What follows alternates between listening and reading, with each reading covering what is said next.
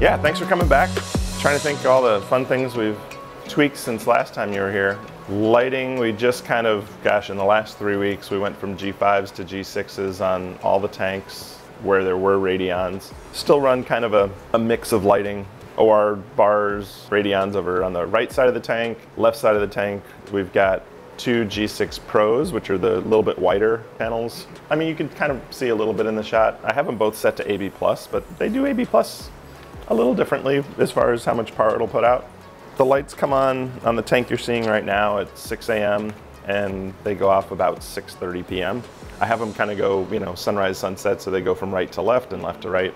Yeah, so run about that, probably a little more, you know, par throughout the day than, you know, they need, but it's, you know, it's the times of day that I'm down here and I want to see it is usually 6 a.m. I'm down here, um, you know, before the kids go to school, just kind of having first cup of coffee, checking everything out.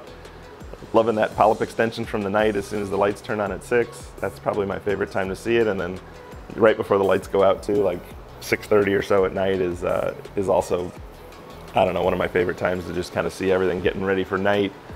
Colors are usually just super popping. It's, you know, obviously in the AB plus, that's where you get the blues. And then I've got the OR bars that are always blue. So, and then from 8 a.m. till I think 4 p.m., probably longer than it needs to be, I have that 400 watt radium bulb um, that I just can't seem to get rid of. I, I just love that, you know, kind of shallow reef shimmer that that gives in there. The growth tips I see in that area, and you can probably see it on camera a little bit too, is it's definitely brighter in that area, and it also par-wise has got to be pushing almost a, a thousand through that, that eight hour period, which is probably a little more than it needs to be, but again, everything looks happy over there. I don't put any things that I know, you know, need lower light, so Right.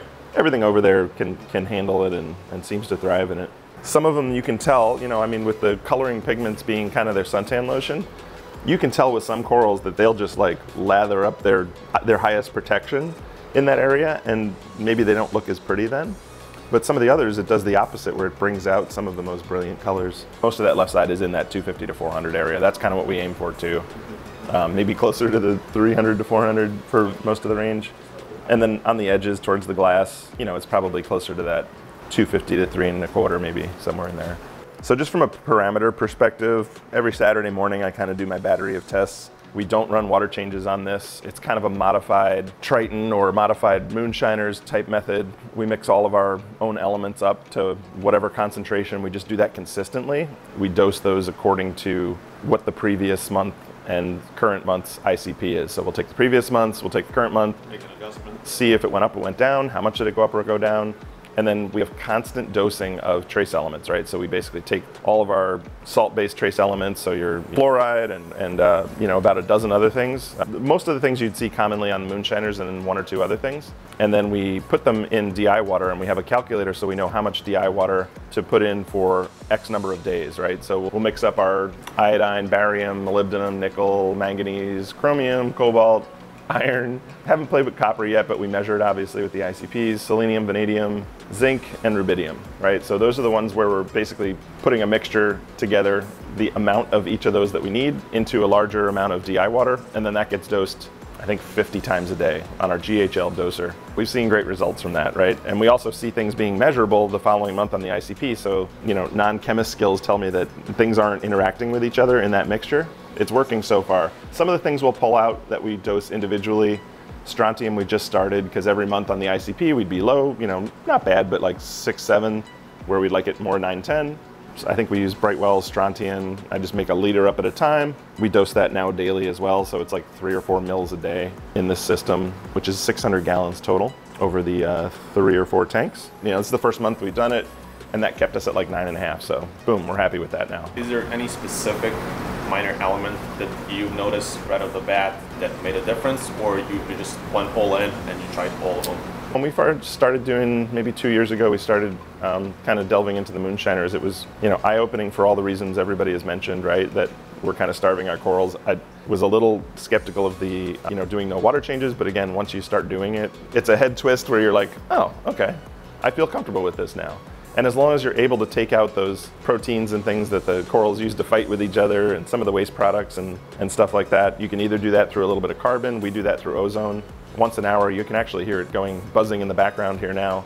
It's going into our skimmer. I think it runs five minutes every hour. Seems to be fine, right? We've been doing that now for a year and a half. We've been doing, you know, no water changes until recently. I just had to do one because our sulfate, yeah, our S was high. We were up around 1098, 1094 in August and September. So then we did a couple weeks of water changes just to kind of bring that down. Our chloride was also a little high, probably because all the traces that we're doing chlorides, right? They're all salts. So we do calcium reactor, we do kalkwasser, and we do three part with sodium hydroxide.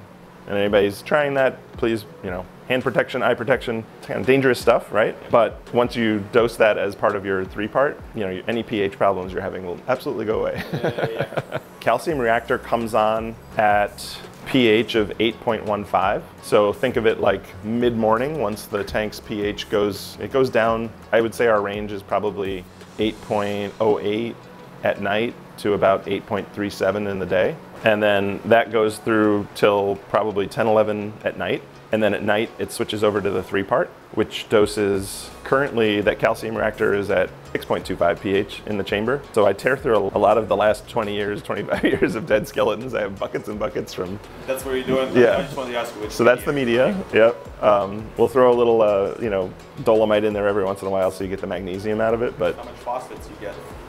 not, yeah, not that. I mean, this tank is starved for phosphates and nitrates, oh, Okay, right? So, kind of So works th- out. what you see here is sucking down the nitrates and phosphates more than I can, you know, do via feeding and stuff. So at night, that three part kicks in, which part A is just calcium chloride, part B is the sodium hydroxide that we mix up, and then part C is tropic marin part C.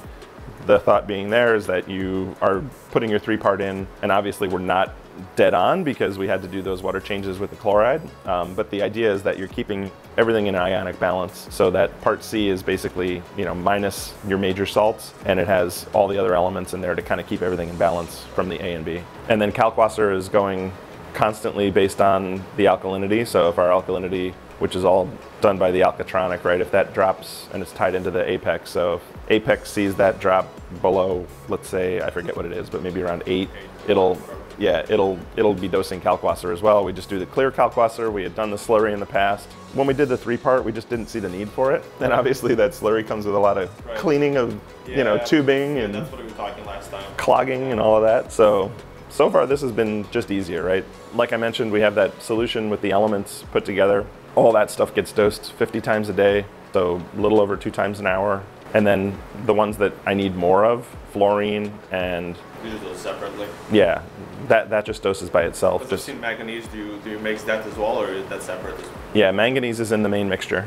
I could probably include the fluorine in there too, but I just haven't done it yet.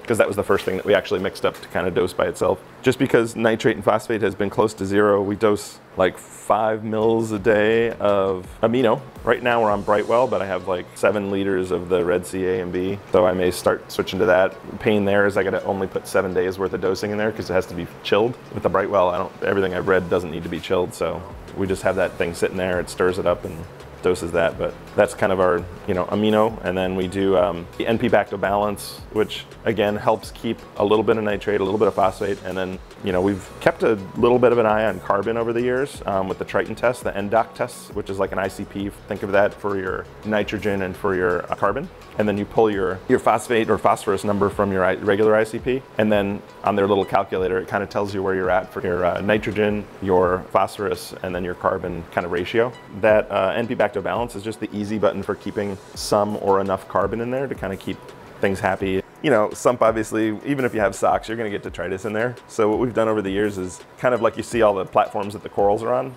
I basically beefed up one of those to put, you know, all the weight of live rock on it. So we have two of those in the sump that act as a stand, so I can get in there and vacuum underneath, Awesome. And it just makes it easy to keep Yeah, keep the stuff out of there. You Do know. not have none of the filter socks or filter roller, nothing like that. Right now, I don't. So what do you have for filtration? You have obviously the skimmer in the back. I think. Um, yeah, I've got an Octopus External 300. We used to have this turf scrubber, which worked wonderfully, right? But now I don't need You it. don't You know, no. Okay, so Uh, skimmer. yeah, skimmer, and then the live rock and the sump, and the plumbing, and all the other places that all the bacteria grow on, all the surfaces.